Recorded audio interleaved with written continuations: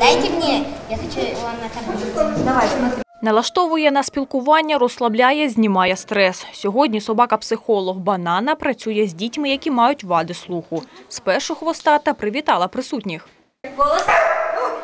Малюки охоче зібралися побавитися з твариною та погодувати чотирилапу. Потім трошки покомандували.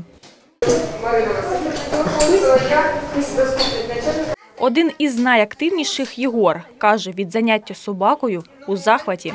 Погладил, э, она ме- меня немного облизывала. Э, Короче, все нормально.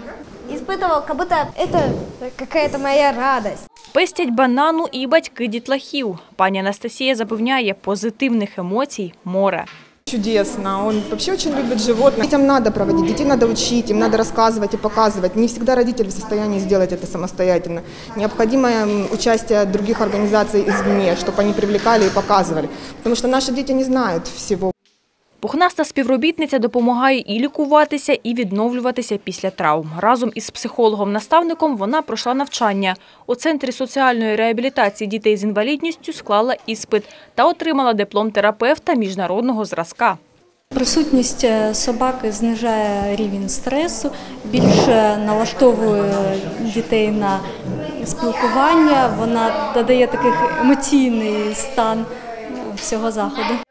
Також дітлахам показали фільм про рятувальників та провели арт-терапію. Організатори запевняють, такі заходи планують проводити і надалі.